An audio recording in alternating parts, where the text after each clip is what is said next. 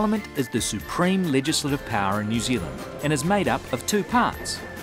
The Sovereign, represented by the Governor General, whose role is to open and dissolve Parliament at election time, as well as sign off laws once Parliament has passed them. The second part is the House of Representatives, which is made up of about 120 MPs. Parliament has five primary functions. One, to represent the people of Aotearoa, New Zealand. Two, to provide a government. Three, to challenge and hold the government to account. Four, to make laws. And five, to approve how taxpayers' money is spent.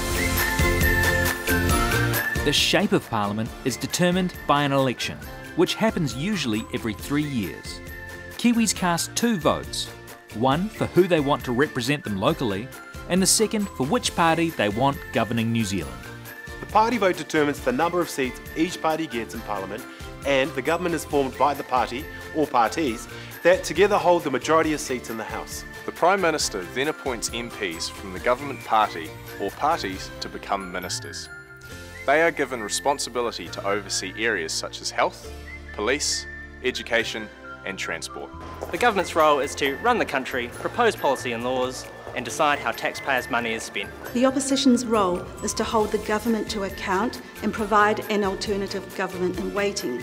They do this through asking questions of ministers, through debates in the House on major issues and legislation, and through the work of select committees. Overseeing the order and business of Parliament is the Speaker, who acts much like Parliament's chairperson.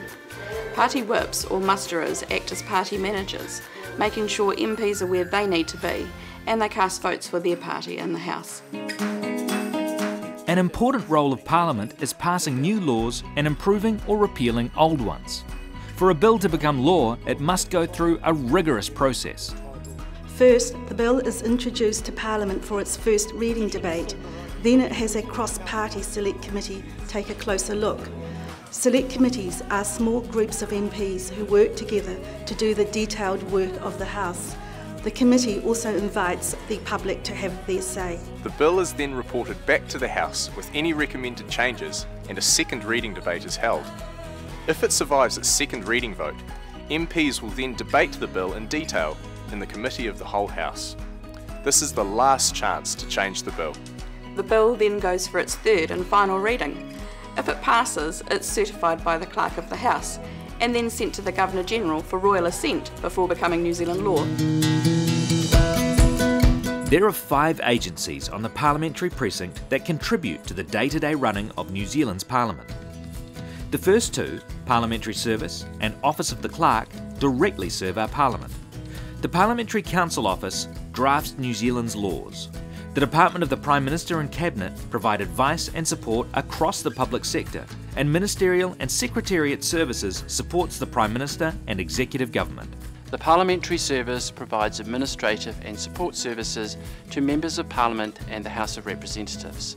It also manages members' funding entitlements. The Office of the Clerk supports House and Select Committee proceedings, gives advice on parliamentary law and procedure, and records, publishes and broadcasts the debate from this chamber. We also provide drafting support for members' legislation before it's introduced and for members' amendments to legislation. Along with the Parliamentary Service, the Office of the Clerk plays an important role in educating the public to encourage participation in our democracy. The Parliamentary Counsel Office is New Zealand's law drafting and publishing office. We draft government legislation and provide independent advice to ministers and departments on legislative matters. Together, we aim to produce legislation that is fit for purpose, constitutionally sound, and accessible to all users. The Department of the Prime Minister and Cabinet advises, coordinates, and leads across the public sector, with a particular focus on good governance, good policy, and national security. We provide advice and support to the Prime Minister, to the Governor General, and to Cabinet Ministers. Ministerial Services supports the Prime Minister and Executive Government with a range of services. These include staffing, administrative support, advice on their entitlements, and VIP transport services. We also plan and coordinate national commemorative events such as Anzac Day and provide logistical support for official guests of the New Zealand Government. In summary, these are the five agencies that are on the parliamentary precinct and that support the running of New Zealand Parliament. Parliamentary Service, Office of the Clerk, the Parliamentary Counsel Office, Department of the Prime Minister and Cabinet, and ministerial and secretariat services.